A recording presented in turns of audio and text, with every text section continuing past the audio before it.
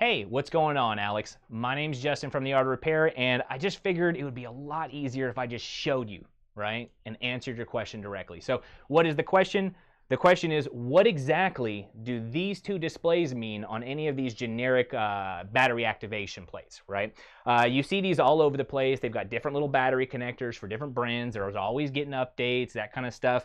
Uh, but they're they're all about the same, okay? They all perform equally as crappy as all the other ones. But I digress. That's another discussion. Uh, so with that being said, the direct question here is, what are these? What do they do? Okay. Um, well, we can go ahead and answer that. First off, we don't have anything else connected right now. So we've still got some readings up here. What do they mean? Number one, we've got the 0.00 over here.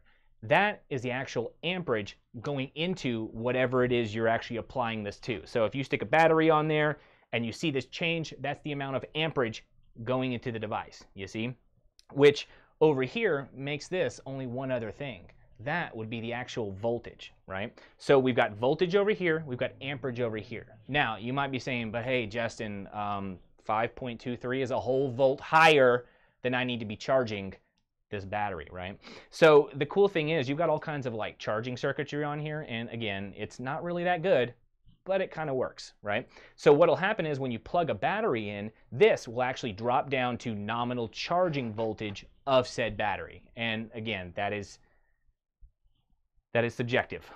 Um, but it's very, very easy to understand what these things do. We've got voltage, amperage, okay? Um, and this will change when you plug the battery in.